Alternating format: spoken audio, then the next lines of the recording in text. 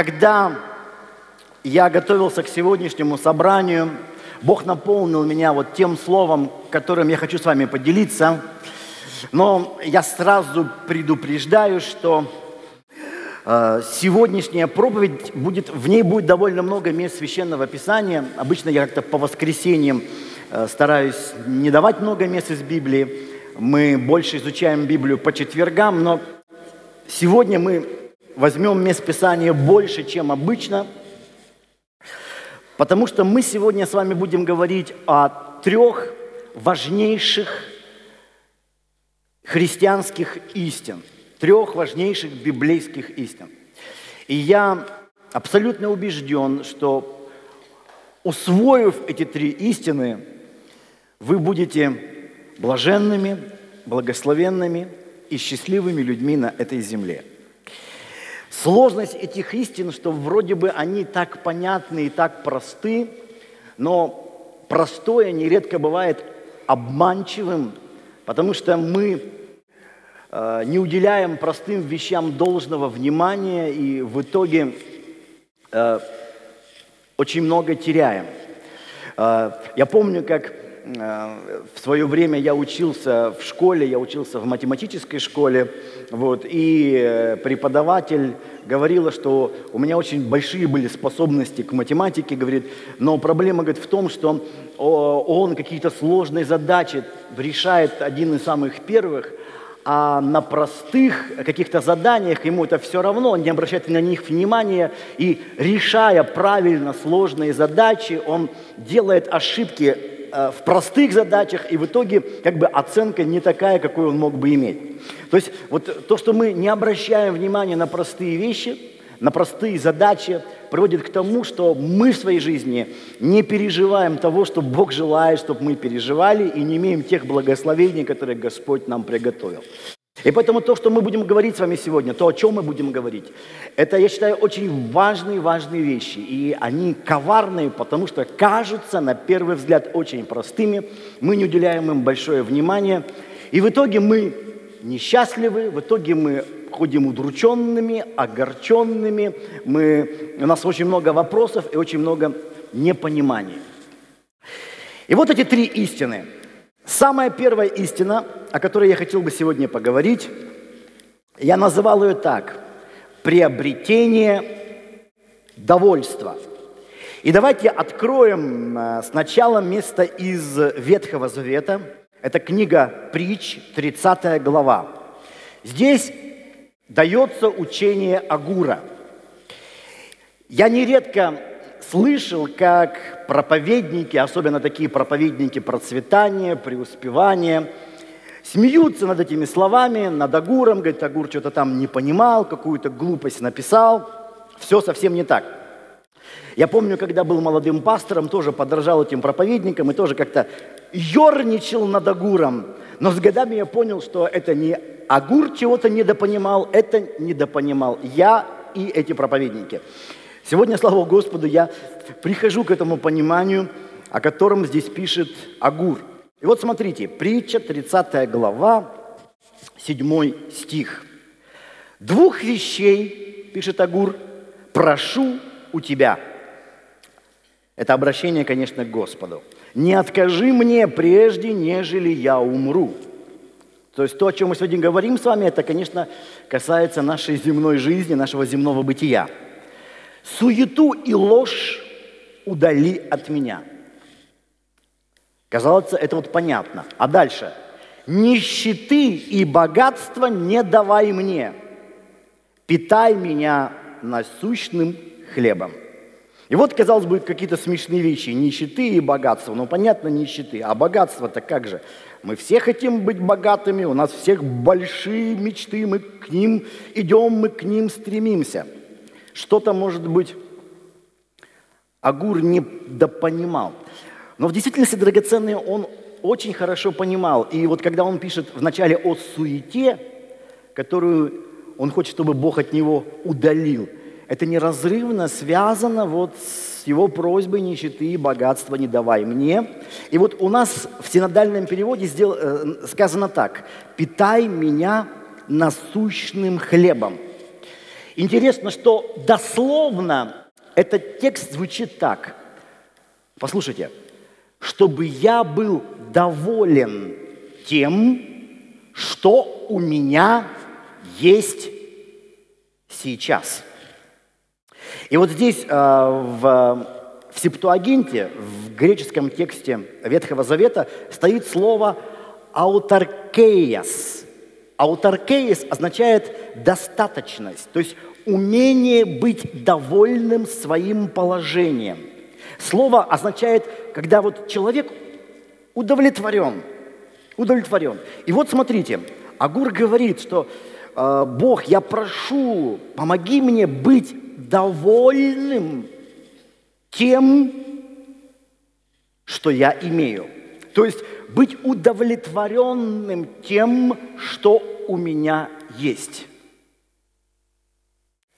Согласитесь, это довольно необычная молитва, потому что когда мы молимся, мы-то как раз просим большего чего-то. Помоги, дай, благослови. А Агур молится, Бог, помоги мне быть довольным тем, что я имею, быть довольным тем, что у меня есть сейчас – И именно вот это слово, э, которое здесь стоит довольным, аутаркеяс, использует апостол Павел в первом послании к Тимофею в шестой главе. Знаменитые слова 1 Тимофею 6.6. Великое приобретение быть благочестивым и довольным. Ибо мы, поясняет апостол, ничего не принесли в мир. Явно, что ничего не можем и вынести из него. Мы приходим в этот мир без вещей, без сумки, без портфеля, даже без маленькой сумочки. Слава Богу, мне Господь дал мудрости. Я все-таки во время рождения нашего последнего ребенка присутствовал при родах. Ведь для меня это были такое переживание. Я бы, честно говоря, всем мужьям советовал быть во время родов своей жены. Я долго этого сам не понимал, думаю, зачем? Помочь я ей ничем не смогу, а переживаний выше крыши. Нередко, говорят, мужья там и в обморок падают, и все с ними случается. Но потом я, когда вот сам присутствовал на родах нашего уже сына, Жени, я понял, что я очень много могу помочь. Вот. А к тому же там, когда а, моя супруга рожала ночью, и в, этот, в эту ночь как-то очень много родов было, и, в общем, врачей на всех не хватило, и я не просто там присутствовал, я, прямо скажем, участвовал в этом. Принимал ребенка, и первый, э, кто его обнял, это был я. И что интересно, когда дети рождаются, они плачут, всегда говорят, он плачет. Так вот, мой сын не плакал, и я понял, почему. Потому что он увидел мужчину, чего плакать. И одна из вещей, которые я вот понаблюдал, он пришел в этот мир без всего. Ему не было ни бабочки, ни ботинок, ни портфеля, ни шапочки. Все это он уже получил сразу по приходу. И точно так же Павел говорит, мы ничего из этого мира не унесем. Точно так же, хотя, конечно, там тебя уже нарядят красиво, но с собой ты это не заберешь, это останется в земле. И вот Павел говорит, имея пропитание, 8 стих, и одежду, будем довольны тем.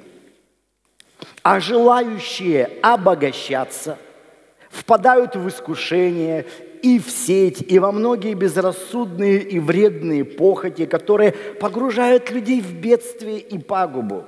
Ибо корень всех зол есть сребролюбие, которому, предавшись, некоторые уклонились от веры и сами себя подвергли многим скорбям.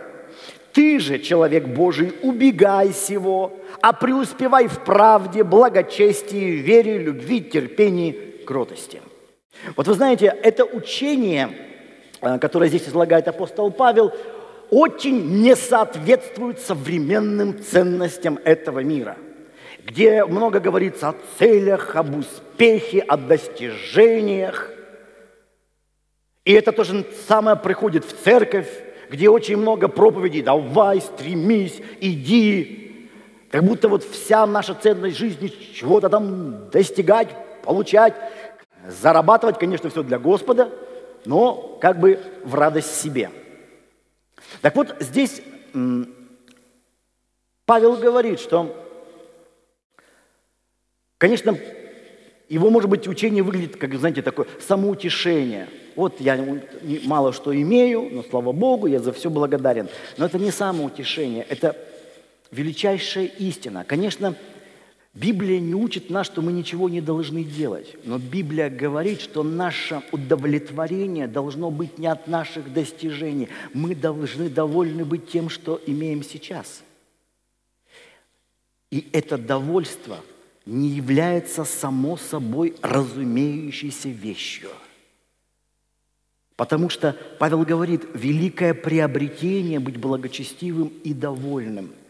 Люди думают, что приобретение приводит к довольству. Чем больше я приобрету, тем больше я буду довольным. Но это не так, потому что само довольство является приобретением. Человек живет там в съемной квартире, и он платит каждый месяц там каким-то людям посторонним, и он думает, вот как же я так вот каждый месяц столько денег отдаю чужим людям, свои кровно заработанные деньги, нет, мне нужна своя квартира, потому что в съемной там и ремонт нормально не сделаешь, все чужое, и не обставишь так, как я хотел бы, все чужое. А вот была бы у меня своя, хотя бы маленькая, и вот он приобретает, предположим, комнату – и, казалось бы, он доволен. Нет, недоволен. Потому что что это такое? Комната одна, а туалет общий. Ванна общая, неудобно. Только соберешься помыться, там кто-то сидит. Вот если бы у меня была своя уже, не комната, а своя полноценная квартирка, вот тогда я буду довольный. Вот проходит время, у него своя квартира, что он доволен? Нет, недоволен. Он недоволен. О, ну, конечно, своя да своя, да маловато. Хочется, чтобы у всех было по своей комнате. А у нас что? Одна комната. Ссоримся с женой, разбегаться некуда. Так и сидим в разных углах. Нам бы хотя бы двухкомнатная. И вот у них как через какое-то время двухкомнатная, что они довольны? Нет, недовольны. Потому что вон уже друзья дом приобрели, а я все в квартире дышу этим ужасным воздухом Екатеринбурга, а вот бы мне свой дом бы где-нибудь на окраине, чтобы свой садик, свой огородик, вот тогда я буду доволен. И конца края нет нашим желаниям, потому что приобретение никогда не приводит к довольству. Как написано в Ветхом Завете, давай, давай, две сестры, давай, давай, давай, давай, давай, давай – и мы все хотим больше, хотим больше, хотим больше. И приобрел вроде бы свой дом, а тут, оказывается, надо много чего делать, и недоволен человек. Поэтому это великая мудрость, драгоценная, быть довольным тем, что у нас с вами есть сейчас. Да, конечно, ставь цели, но не делай свое довольство зависимой от твоих целей и от твоих достижений. Не делай. Будь доволен тем, что у тебя есть. И апостол Павел не просто учил об этом, он сам жил так. Вот смотрите, послание к филиппийцам, 4 глава, 10 стих, Павел уже о себе свидетельствует. Он говорит, я весьма возрадовался в Господе, что вы уже вновь начали заботиться о мне. Вы и прежде заботились, но вам не благоприятствовали обстоятельства. Павел любил не обвинять других, там, вы обо мне там мало заботились, потому что жадные очень. Нет, он говорит, вы и прежде заботились, ну, как-то вот у вас тяжело было. Говорю это не потому, что нуждаюсь, ибо я, смотрите, научился быть довольным тем, что у меня есть. Мы знаем, апостол Павел не был пассивным человеком. Он был тот, кто стремился куда-то, шел, действовал, его служения развивались. После первой миссионерской поездки он организовал вторую, после второй – третью. Но при всем этом Павел говорит, я научился быть довольным тем, что у меня есть.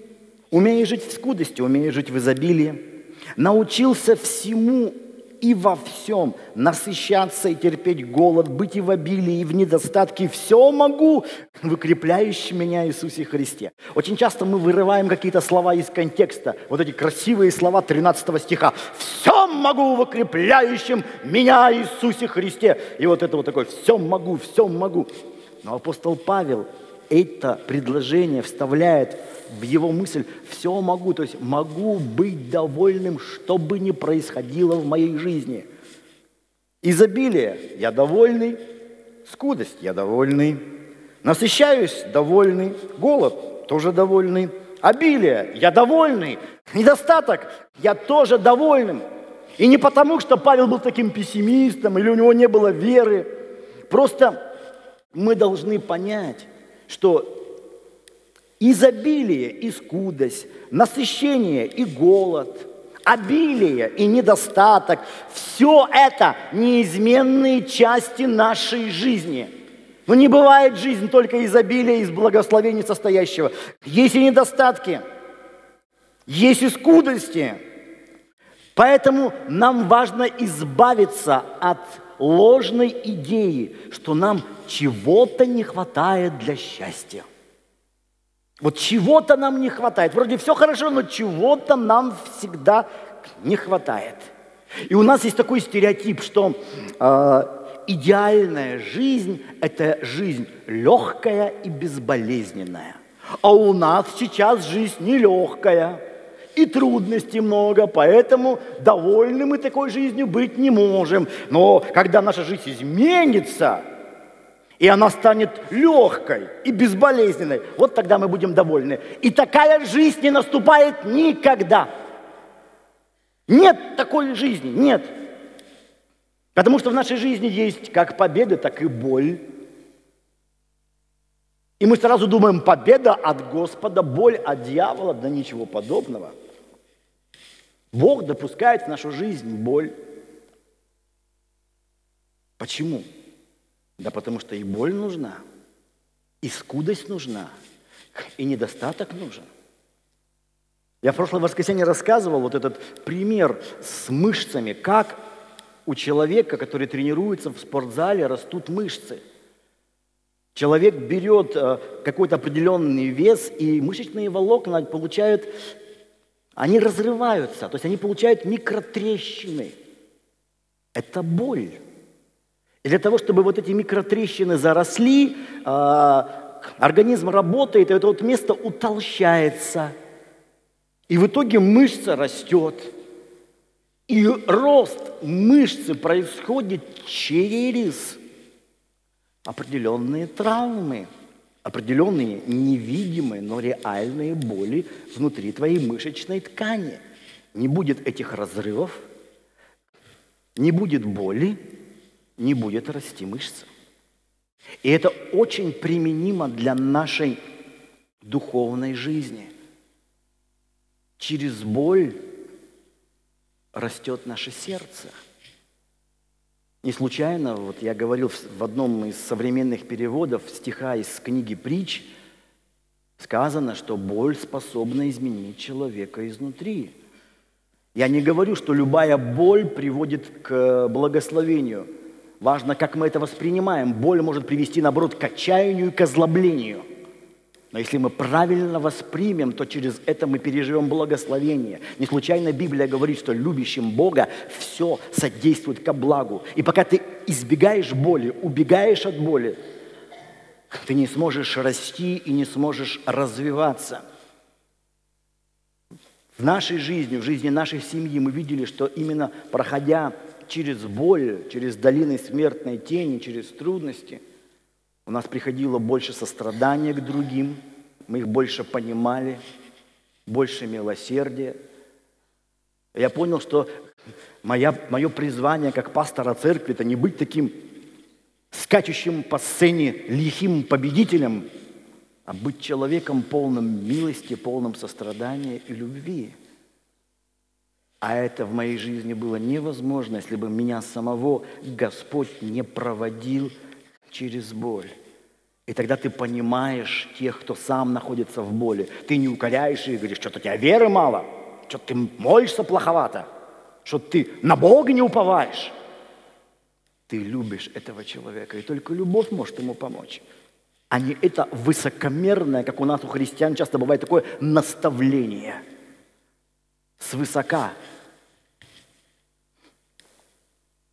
И именно этому мы видим, э, Библия учит нас, и много мест в Священном Писании. Вот смотрите, послание к евреям, 13 глава, 5 стих – Здесь опять апостол наставляет верующих и пишет, имейте нрав не сребролюбивый, довольствуясь тем, что есть. То есть много раз в Священном Писании проводится эта мысль, приобретай довольство, будь доволен вот тем, что есть. Ибо сам сказал, не оставлю тебя и не покину тебя. Будь довольным. Иначе тебя ждет жизнь постоянно и всем недовольного человека. И о таких людях вот пишет в послании Иуда э, в 16 стихе, Иуда, 16 стих, смотрите, это ропотники ничем недовольные. Вы видели таких людей, которые вот что бы ни было, они ничем недовольны? Вот что бы ни было, недовольны. Да?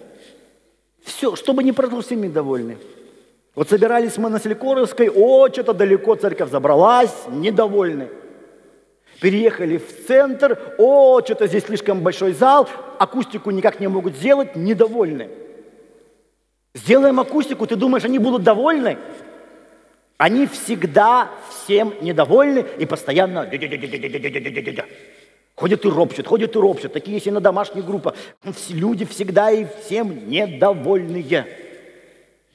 Ропотники, ничем недовольные. Поступающие по своим похотям, нечестиво и беззаконно. Уста их произносят надутые слова. То есть они всегда в теории знают, как надо – он знает все, как надо, э, как надо государством управлять, какую нужно международную политику вести. Он, конечно, не знает, как утешить свою жену дома. И она у него ревет все время на кухне. Но как управлять государством, он профессионал. Уста их произносят надутые слова, они оказывают лицеприятие для корысти. И вот, к сожалению, среди христиан немало таких ропотников, ничем недовольных. Вот все не то, проповедь не на те темы, молиться там не так надо, мало молимся, а если молимся много, не о том молимся. Они все знают, как нужно, и, и недовольны, недовольны, недовольны. Я еще раз говорю, то, что ты доволен, не означает, что ты не хочешь ничего большего. Но Твое стремление к большему идет из удовлетворения, а не из-за постоянного недовольства. Потому что если ты сегодня недоволен, то получив больше, ты все равно будешь недовольным. Недовольство или недовольство – это внутреннее состояние. Оно зависит не от эм, ситуации жизни и не от успеха жизни. Оно зависит от того, находишься ли ты в гармонии с Богом, и с самим собой. Когда внутри вот есть такая гармония, тогда ты довольный. Тогда ты довольный. Я вам признаюсь, что, наверное, вот это одно из лично моих проблем, потому что э, у меня в жизни нередко бывает так, когда вот, э, вот мы в церкви готовим какое-нибудь мероприятие или какую-то конференцию, и у меня внутри есть картина, как это должно быть. И когда происходит несколько не так, я уже недоволен, думаю, как же так, вот должно было быть так, а все не так, как это так? И у меня внутри прямо аж... Потом собираюсь в офисе с служителями, на всех кричу, ругаюсь, все чувствуют себя виноватыми, и ничего не меняется. Я не говорю о том, что мы не должны менять, не должны стремиться к большему. Я говорю о том, что наше довольство, оно должно исходить из того, что у нас есть, а не из-за того, что у нас могло бы быть. Вот есть и есть, и давайте будем довольны. Скажешь, пастор, ну можно же улучшить. Да, но мы должны улучшать, будучи уже довольными. Понимаете, о чем я сейчас говорю, да? Вот уже, уже доволен. Вот, вот доволен. Ты вот сидишь, все, доволен. Ты скажешь, пастор, если бы у нас была бы акустика лучше, я бы твой голос лучше слышал, я был бы доволен. А ты будь доволен сейчас. Тогда представь себе, каким довольным ты будешь, когда мы акустику сделаем. Довольным. Сидишь довольный. Ну уж, пастор, если бы вот рядом со мной такие две красивых девушки сидели, я был такой довольный. А ради со мной такие братья сидят вообще. Будь довольным, посмотри вокруг. Кто тебя сидит? Скажи, слава Богу, с такими людьми сижу, как я доволен.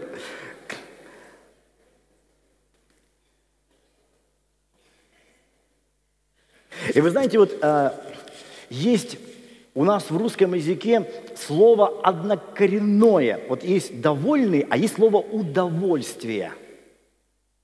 Но это слова, хотя бы у них вроде бы общий корень, но смысл-то разный.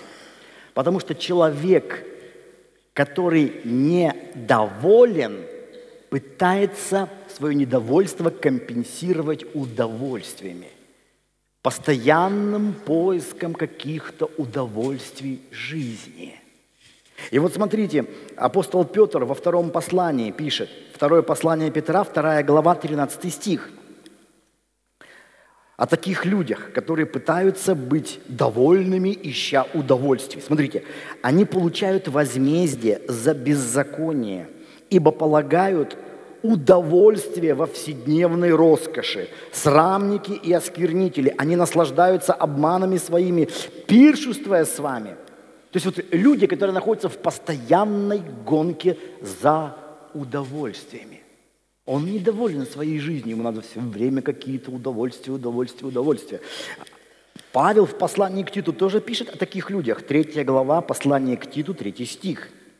«Ибо и мы были некогда несмысленны, непокорны, заблудшие, были рабами похотей и различных удовольствий». Видите, он ставит поиск удовольствий наравне с похотью. Люди, которые бегают за удовольствием. Сегодня мир бегает за удовольствиями. Жили в злобе и зависти, были гнусны, ненавидели друг друга. И выход из этого только один – быть довольным тем, что Бог дает тебе сейчас. Да, строй планы, да, стремись к чему-то большему – но не делай довольства в зависимости от будущего успеха. Будь доволен тем, что есть. И это на самом деле внутреннее приобретение, когда ты доволен. Да, у меня есть это, я доволен. Бог, конечно, может дать и больше, но мое довольство не от достижений и не от успеха. Мое довольство от того, что я имею сейчас – вы знаете, как удивительно, к довольным людям и приходят реальные благословения, а от недовольных они все время убегают. Что бы в их жизни ни происходило, убегают и убегают. Поэтому будь довольным. Великое приобретение быть благочестивым и доволен. Спроси у своего ближнего, ну, доволен ты, нет? Тем, что у тебя есть. Или ты все время недоволен? Некоторые недовольные так смотрят на меня, даже не хотят поворачиваться. Я недоволен тем, что ты сказал повернуться, я не хочу к нему поворачиваться. Я недоволен, что ты так говоришь. Я вообще не недоволен, когда пастор говорит, скажи своему ближнему. Я вот недоволен. Я туда пришел слушать, а не болтать. Если такие недовольные все время. Я на тебя смотрю с таким лицом, я же доволен. Думаю, ну слава Богу. И хорошо, что пришел. А то бы по телевизору меня смотрел, но я и им доволен тоже, хоть и не вижу их вообще. Всем научился довольным быть. Всем.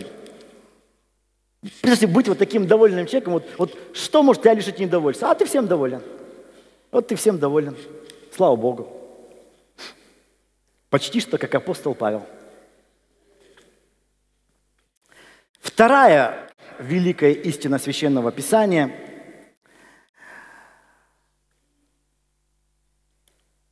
Давайте откроем Экклезиаста первую главу. Я назвал эту истину так. Мир меняется. Ты скажешь, ну и что? Вот я сейчас скажу, что. Экклезиаст, первая глава, 4 стих. Род проходит, и род приходит. Кто-то рождается, как мы говорили, кто-то умирает, а земля пребывает вовек. Восходит солнце, заходит солнце, спешит к месту своему, где оно восходит.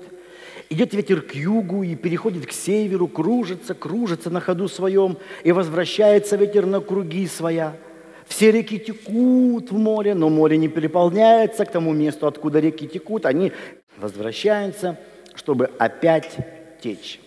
То есть мир находится в постоянном движении. Мир не постоянен. Жизнь постоянно движется, постоянно меняется. Об этом в свое время еще учил греческий философ Гераклит. Знаменитые слова, что в одну реку не войдешь дважды. Потому что когда ты вошел в реку, то, где ты уже купался, утекло, и сейчас уже, в принципе, другая река.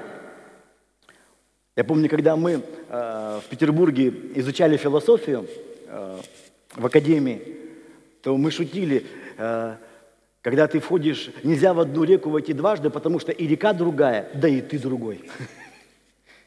Ты тоже поменялся. У нас клетки изменяются, да? Мы тоже обновляемся. Мысли какие-то в голову приходят новые. Ну, по крайней мере, к некоторым из нас. И по сути, каждое утро вы просыпаетесь немножко другим. Вот я заснул, например, у меня такие были гладкие щеки, проснулся, уже смотрю, бриться надо. Поменялся я несколько воздухом немного другим дышим. У вас бывало так вот, открываешь утром там окошко или выходишь на улицу, смотришь, как, какие-то выбросы жирокомбината. Я говорю про тех, кто на в Черемете живет. У вас на Уралмаше, кто живет, ничего не меняется, все время такой запах.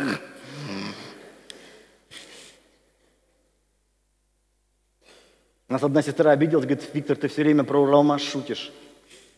Ну а как не шутить над вами? Но вы не обижайтесь на меня. Будь доволен. Скажи, пастор шутит про Ларомаш, и мне эти шутки не нравятся, но я доволен.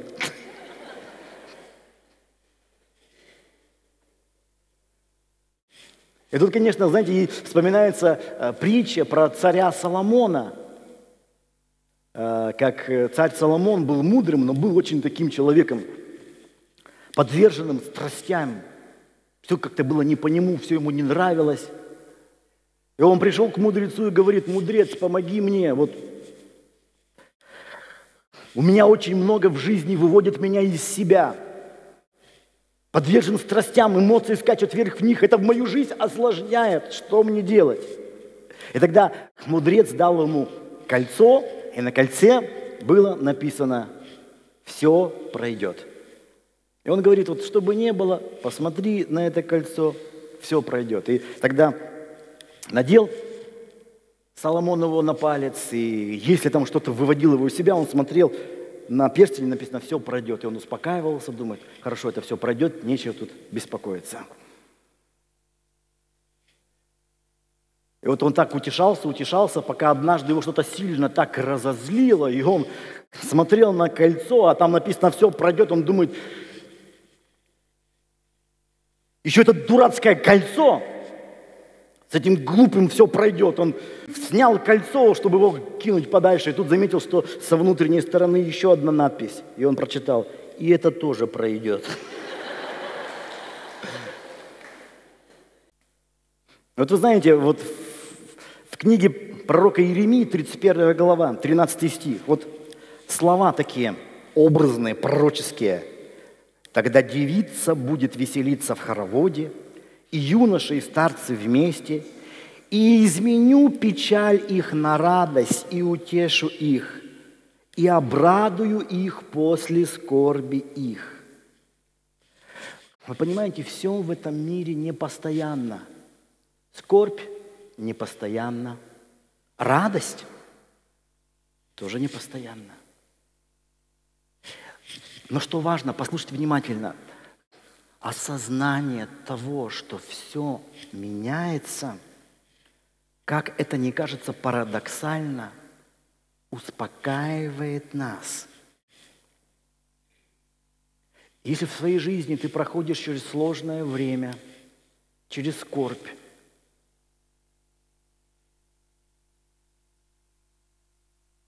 помни, это пройдет. Это пройдет. Тебе тяжело, тебе может быть больно. Но понимание, что это пройдет, утешает тебя не зацикливаться на скорбях и боли, потому что все это проходящее, как здесь написано, изменю печаль на радость.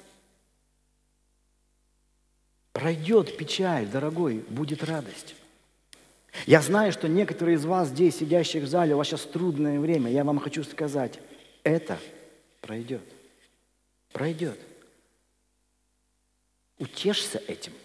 Не бывает печали вовеки. Слава Господу.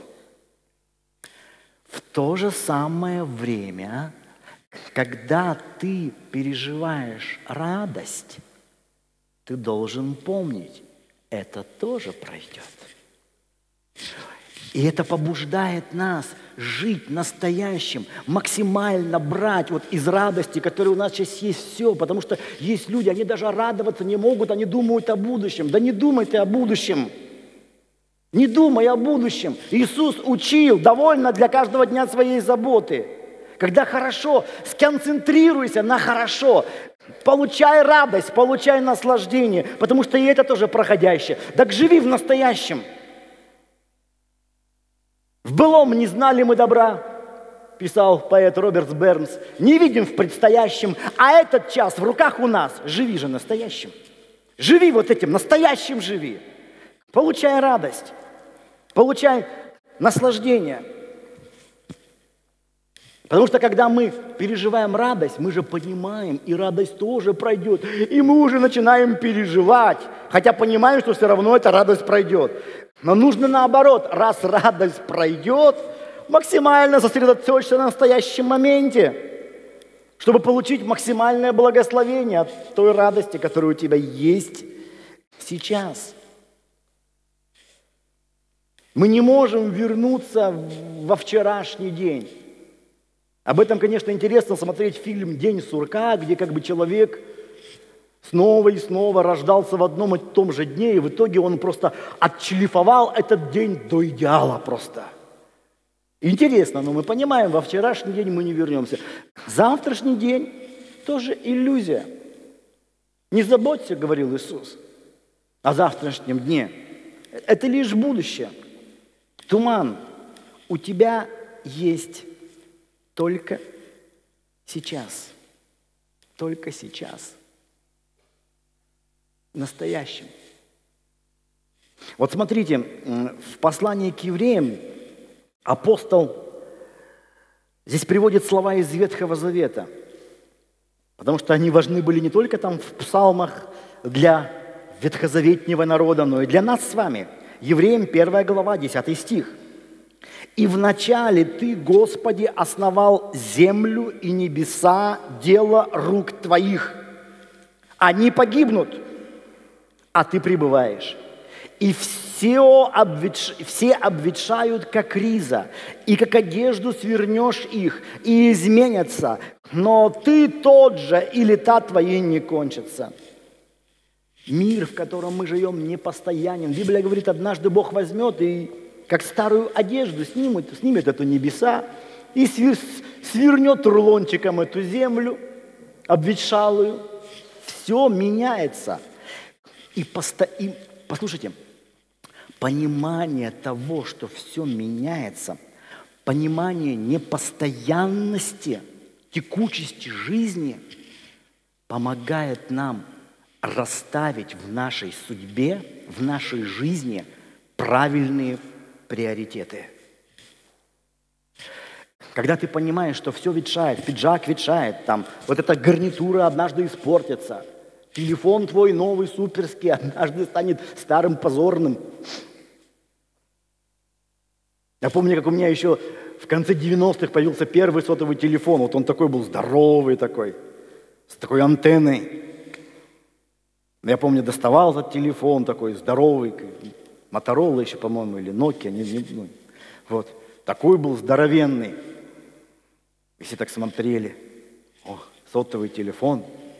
Сейчас этим телефоном, мягко говоря, никого не удивить. Только сотрудников музея, может быть, таким телефоном. Когда ты понимаешь непостоянство всего, то ты понимаешь, что, послушайте, отношения, отношения с людьми, отношения с близкими важнее вещей. Но сколько ты будешь радоваться новой вещи? Сколько ты будешь радоваться новому телефону? Ну, день, два, неделю. Ну, особо упорный месяц. И все. А через год вышла новая модель, и твоя уже устарела, и ты уже не радуешься, а думаешь, как бы побыстрее и получше бы его продать и купить новое. А отношения, настоящая любовь, это то, что никогда не обесценится. Никогда не обесценится. Получай благословение от отношений, от любви. Вот вы понимаете,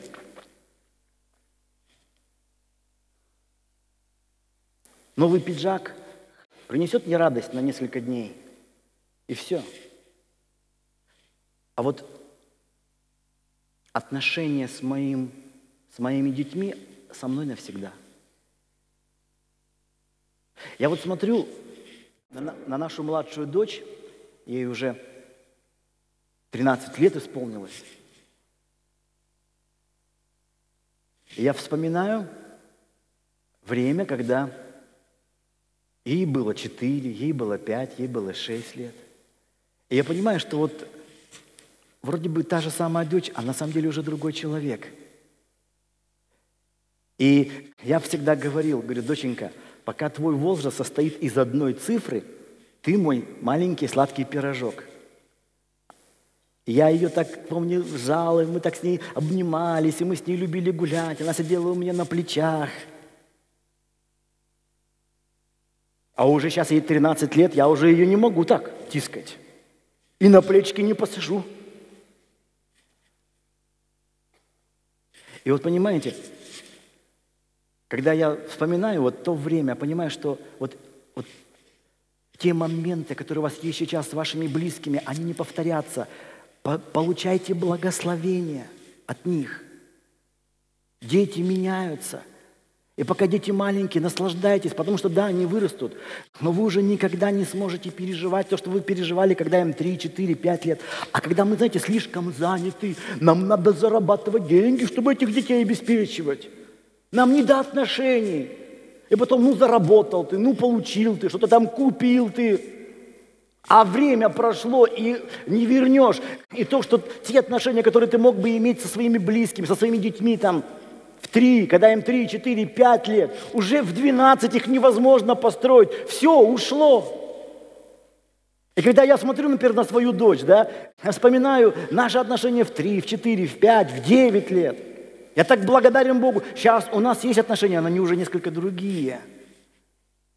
И я ни секунды не жалею о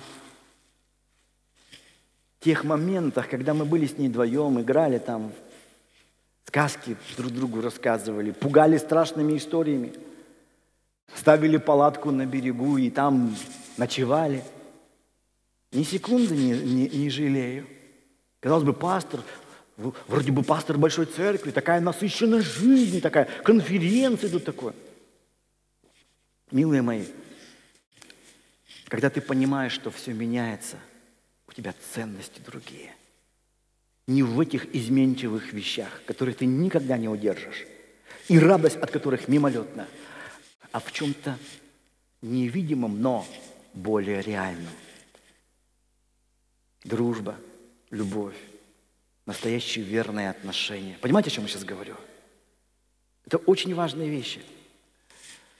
Вы знаете, если бы многие люди понимали это, то у нас разные были бы приоритеты. И мы бы рассматривали успех совсем не так, как сегодня многие рассматривают. Потому что, ну что бы ты ни сделал, какие бы там дома не построил, вот небоскреб, вот у нас в городе мы гордимся, у нас башни, сеть там стоит, там Высоцкий. Самые высокие небоскребы в России за пределами МКАДа. И что? Вот прям давайте гордиться этим. Однажды Бог возьмет так, все свернет. Все.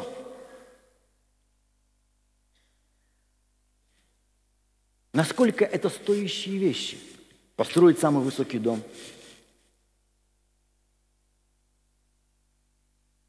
И что это в сравнении со своими с теплыми отношениями? Мы живем э, в коттеджном поселке, где ну, не, не бедные люди живут. Но я не сказал, что, знаете, нас окружает много счастливых людей. Вроде бы, знаете, жизнь у этих людей удалась, там машины, дома свои – ну, можно иметь дом, можно иметь машину, и при этом холод в этом доме, холод в отношениях. Можно жить в обычной квартире и наслаждаться любовью, дружбой, сердечной близостью. Это имеет ценность. Я вот на прошлой неделе читал о некоторых богатейших людях, которые как бы не совсем похожи на богатых людей. То есть они не ведут жизнь богатых людей, потому что у них ценности иные. Я троих из них приведу. Один из них Чак Фини, это создатель сети магазин Duty Free. То есть, когда вы едете где-то в аэропортах, вы видите Duty Free, да, магазины – вот он создатель, основатель этой сети. Он миллиардер. Его состояние 7,5 миллиардов долларов. При этом его называют миллиардером без миллиардов. Почему? У него нет машины своей. Он летает только эконом-классом. Живет в съемной квартире. Дурак, а? У него часы Одни из самых дешевых, что-то 15 долларов, что ли. 15 долларов. У нас некоторые... Ладно, про часы не буду. Для нашей страны больная тема. Он не бывает почти никогда в дорогих ресторанах, кушает в закусочных, не ходит к портным делать такие костюмы по себе, а в обычных магазинах отовариваться одежных. Пользуется метро. Иногда тратится на такси. Можно сказать, ну, Плюшкин трясется над каждой копеечкой. На самом деле за последние 30 лет он отдал на благотворительность более 6 миллиардов долларов. То есть из своих семи с половиной он отдал 6 миллиардов долларов. И сейчас планирует отдать оставшиеся деньги тоже на благотворительные проекты. Он тратит эти деньги на э, поддержку детей, у которых нет родителей, на образование, на здравоохранение, на содержание домов престарелых, э, на науку в разных странах мира. Богатейший человек – какие-то другие ценности у человека. Другой известный миллиардер, особенно все его знают пользователи социальных сетей, это создатель Фейсбука Марк Цукерберг. Тоже миллиарды долларов заработал. При этом он ведет удивительный скромный образ жизни. Да, он не в съемной квартире, он купил себе дом, но этот дом далеко не такой дом, какой Цукерберг мог бы себе позволить. Владеет он тоже не какой-то эксклюзивной машиной, и даже не там Мерседесом, БМВ. У него машина Аккура, то есть не самая, скажем так, дорогая машина. Ходит он, если вы видели его фотографии, чаще всего в обычных футболках. Его свадьбу, он тут несколько лет назад женился, так он свадьбу свою провел во дворе своего дома. То есть не стал арендовать какие-то там хоромы, хотя для него это было бы несложно. Когда они поехали с женой на путешествовать э, на медовый месяц свой, то их журналисты с удивлением обнаружили кушающими в Макдональдсе. Миллиардер. И при этом он решил 99% акций своей соцсети отдать на благотворительность, на помощь нуждающимся, на здравоохранение, на поиск лекарств от рака и от прочего. Стоимость этого пакета, который он передает, 45 миллиардов долларов. 45 миллиардов долларов. И третий, Ингвар Кампрат. Слышали такого? Ну, вы, может быть, его не слышали, но его детище вы наверняка жители Екатеринбурга видели. Он создатель сети магазин Икеа. Один из самых богатых шведов на земле. Он владеет миллиардами. При этом у него старая машина Volvo, которой уже более 15 лет. Летает он тоже только эконом-классом. В его доме мебель только из Икеа.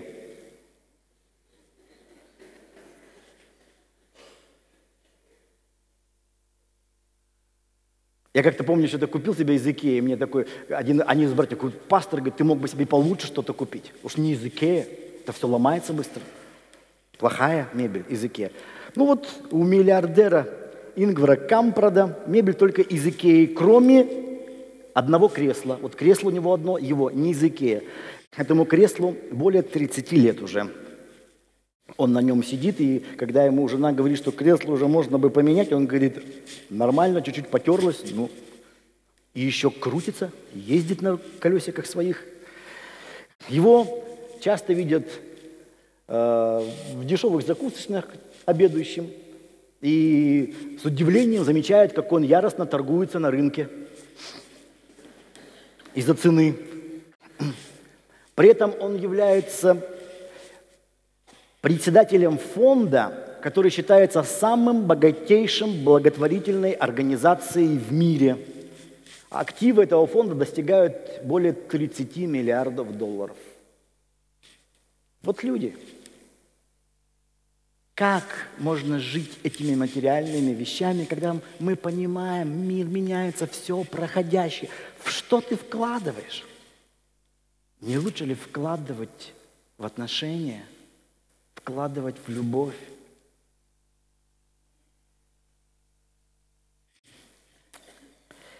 И третья истина, о которой я хотел бы сегодня поговорить,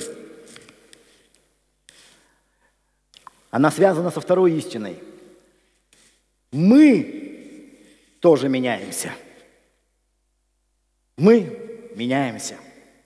Слава Богу, не только мир но мы с вами тоже меняемся. Наша личность постоянно обновляется, постоянно меняется.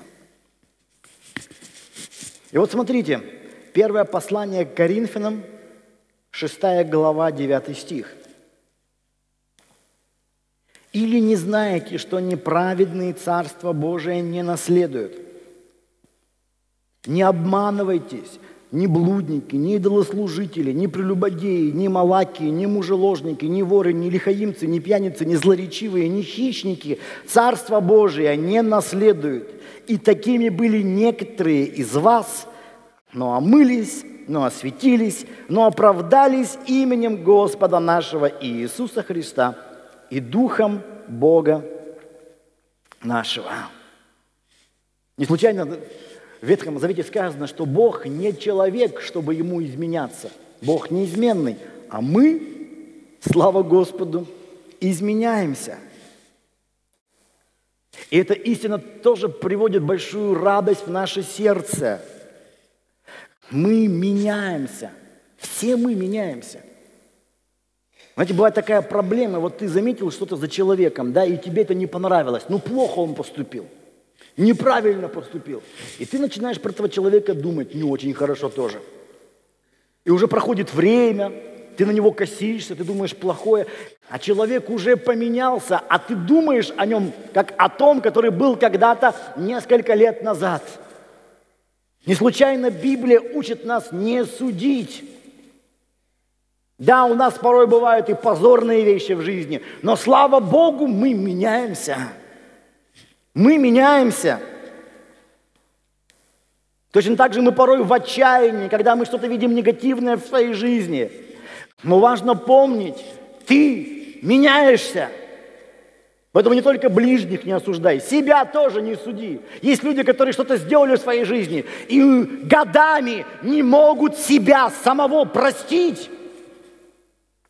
Ты меняешься, дорогой.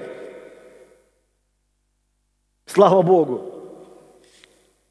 Когда мы поем гимн «О благодать спасен тобой, я из пучины бед», был мертв и чудом стал живой, был слеп и вижу свет.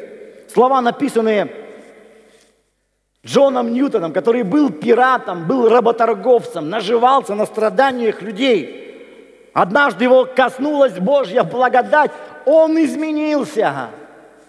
Он стал новым человеком в этом чудо божественной благодати – мы меняемся. И апостол Павел говорит, да, воры, хищники, злоречивые и идолослужители не наследуют Царство Божьего. И кто-то из нас был таким. Но слава Богу, мы омылись, осветились, оправдались именем Господа. Поэтому, чтобы не было, ты изменишься.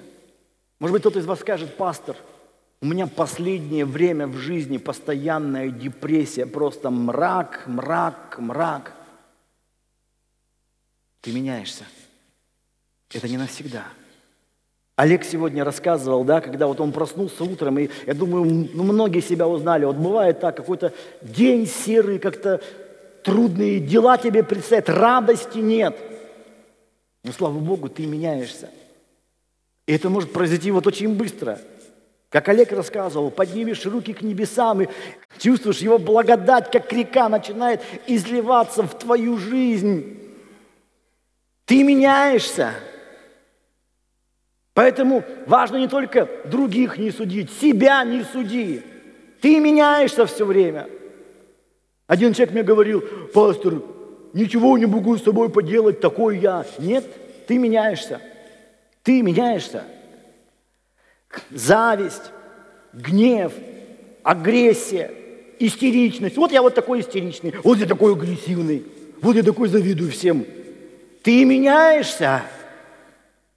И во втором послании к Коринфянам апостол Павел пишет в третьей главе, 18 стих.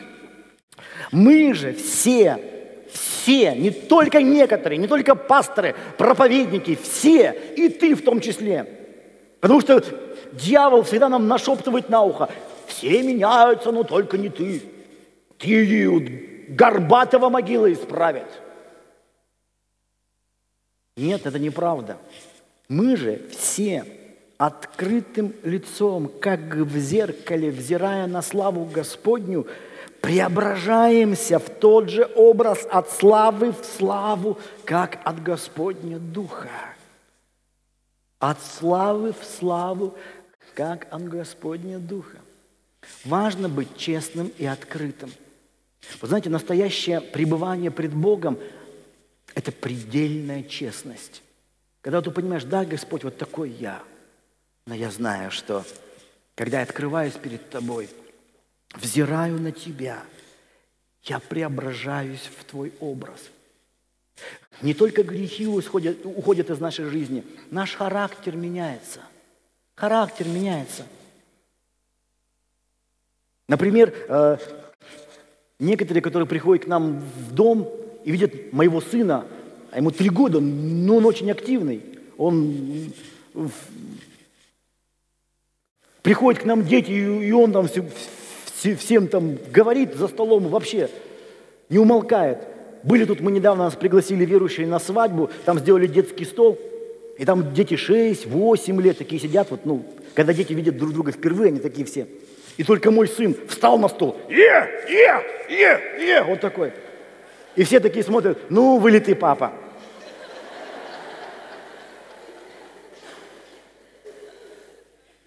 И я говорю, неправда. Это он не в меня, это он в маму. Потому что когда я был ма- малышом, маленьким э, ребенком, мальчиком был, может быть, кому-то ну, трудно представить, я был очень застенчивым человеком, очень застенчивым ребенком. Я был молчаливым, я в компаниях молчал всегда. Я и подростком был молчаливым, и молодым человеком был молчаливым. Я даже, помню, в притчах прочитал, и дурак, когда молчит, похож на умного, думал, надо молчать. Правда, я вообще был молчаливым человеком. И когда Бог призвал меня в 19 лет, и мы начали служение, я стал пастором церкви, как раз вот это было в первое воскресенье декабря 1991 года. Два великих события произошло. Развалился Советский Союз, и появилась наша церковь. И вот у нас как раз в первое воскресенье декабря мы будем праздновать. Мы не будем делать конференции, я не хочу это сделать для кого-то. Приезжайте, приезжайте. Мы сделаем праздник для себя. Да? Мы просто пригласили к нам нашего начальствующего епископа. А, мы его так называем.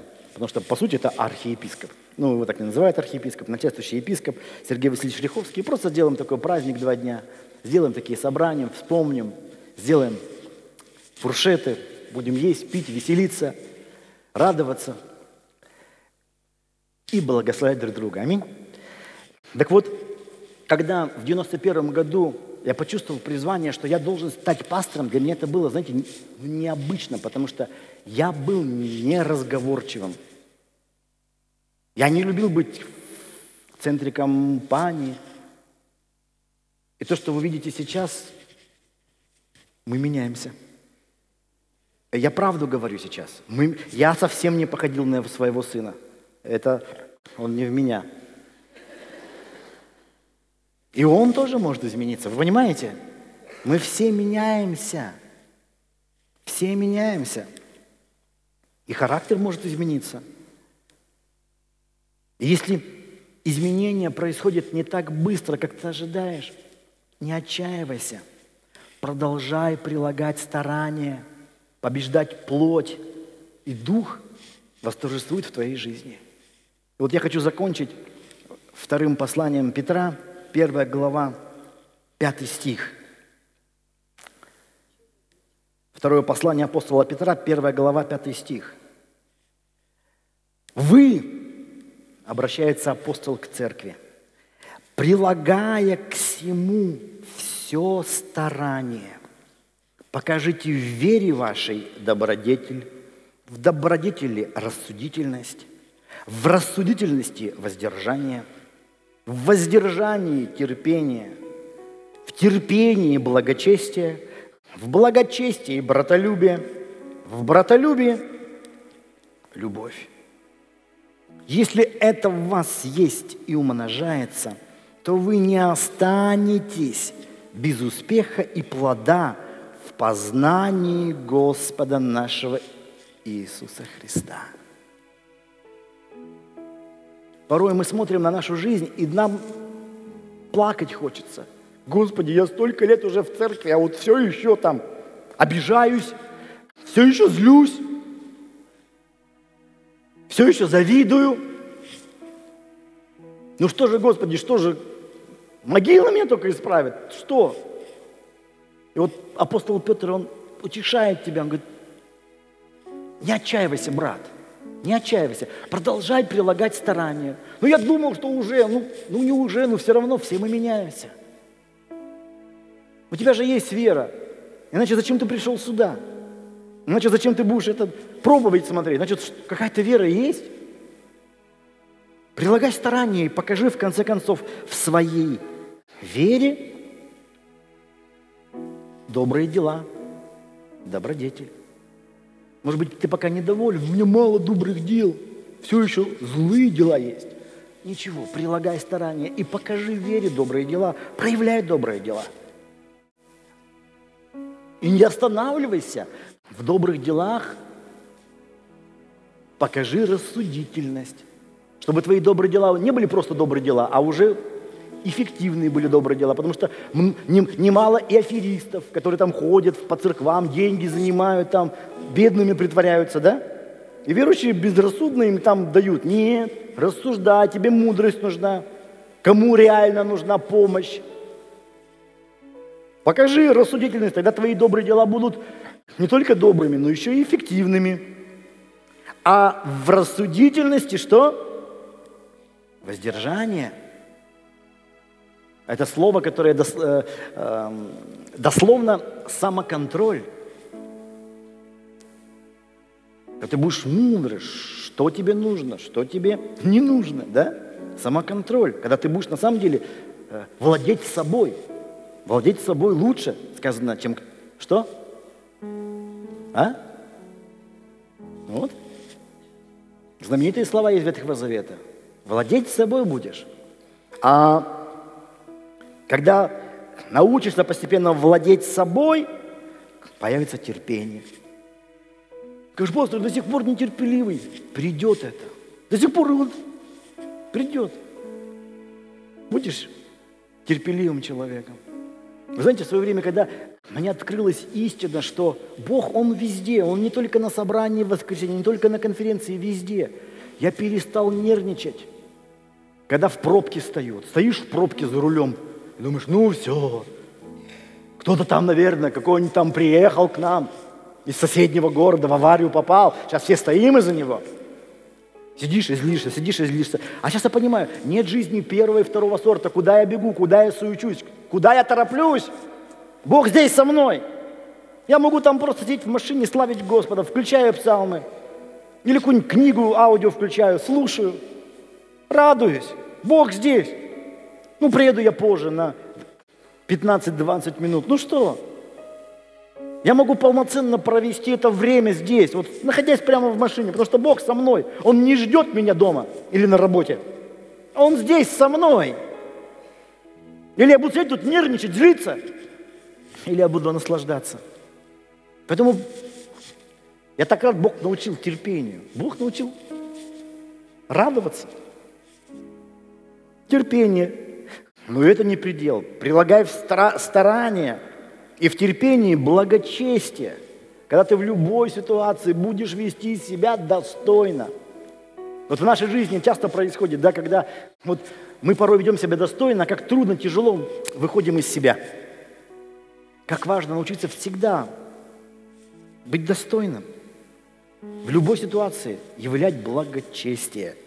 А в благочестии продолжай свое усердие, покажи братолюбие. Когда ты понимаешь, вау, как здорово. Вы знаете, я в последнее время, когда оказываюсь в собраниях верующих людей, я так рад. Вот не от того, что мы сейчас что-то будем делать тут. Просто я рад, что вот мы все вместе. Просто я, я вот рад, я сижу, смотрю на вас, и мне хорошо. Мы верующие собрались все вместе.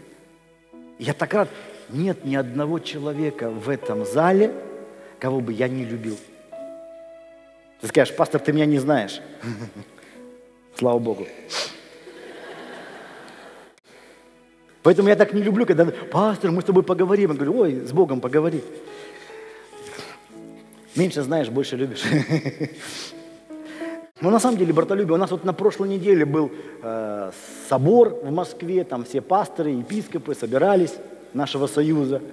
И вы знаете, вот мы собрались, сели, я помню, вот я сел, смотрю на всех пасторов, кого-то я знаю, кого-то не знаю, кого-то знаю много лет, кого-то вижу впервые. Я думаю, слава Богу, вот трудятся люди на Ниве Божьей, мы собрались все вместе. И даже не так важно, какие великие решения мы сделаем на этом соборе, примем на этом соборе, какие важные доклады прозвучат. Я там сам один из докладов говорил. Важно просто, что мы одно тело во Христе Иисусе. И вот просто от осознания этого уже хорошо, понимаете? Вот осознание этого уже хорошо. Но и на этом не нужно останавливаться, а в братолюбии любовь. Когда ты уже не просто братьев и сестер своих любишь, но даже вот грешников окаянных за пределами этого здания, которые шустрят по Екатеринбургу, особенно на Уралмаше их много. Но от такого воздуха как не грешить, понятно же? Ты любишь разных людей, просто любишь. Просто любишь. И Петр подводит итог. Если это в тебе есть, пускай в виде семечка. Не отчаивайся, оно прорастет, оно умножится. Если это у вас есть и умножается, пускай не так быстро, но шаг за шагом, шаг за шагом, шаг за шагом. Я вот смотрю на некоторых из вас. Несколько лет назад еще кто-то из вас пьяницей был. Сейчас, слава Богу, вы благословенные люди, вы не пьете. Кто несколько лет назад там на солях сидел. Слава Богу, сейчас вы свободны. У кого-то из вас ни кола, ни двора не было, жизнь разбита была, сейчас и семья, и дети, слава Богу. Может быть, не так быстро, шаг за шагом, постепенно, верно. Мы движемся вперед. Если это в вас есть и умножается, то вы не останетесь без успеха и плода в познании Господа нашего Иисуса Христа. То есть истина о том, что мы меняемся, помогает нам в познании Господа. Есть вещи, которые сейчас меня во мне не устраивают. Мне это не нравится в себе. Но я не сижу, думаю, мне не нравится, я уже пастор, 25 лет в этом году, а все еще такие вещи могу делать. Как же так? От того, что вы занимаетесь постоянным самокопанием и самоосуждением, толку никакого. Самокопание, самоосуждение – это яд, которым вы сами себя травите. Намного лучше сказать «да». Может быть, у меня еще не все нормально, но, слава Богу, я на пути. Я меняюсь. Я меняюсь. Я уже изменился, и я изменюсь еще больше. И я не останусь без успеха и плода в познании Господа Иисуса Христа. И все это скажут Аминь.